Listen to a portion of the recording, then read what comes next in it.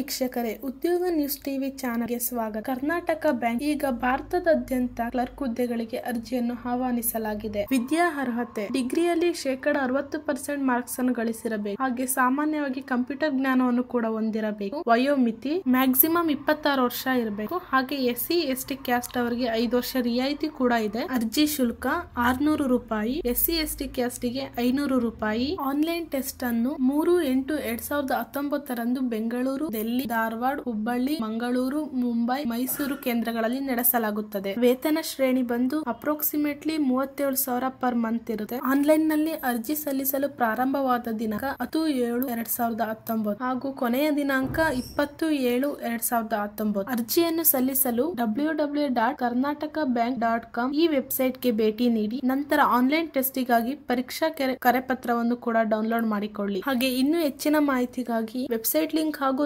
Notification link ಅನ್ನು ನಮ್ಮ video ಕೆಳಗಡೆ ಹಾಕಿದೀವಿ. ಈ ಒಂದು ವಿಡಿಯೋ ಈ ಒಂದು ಮಾಹಿತಿ ನಿಮಗೆ ಇಷ್ಟವಾಗಿದ್ರೆ ಶೇರ್ ಮಾಡಿ ಲೈಕ್ ಮಾಡಿ. Thank for watching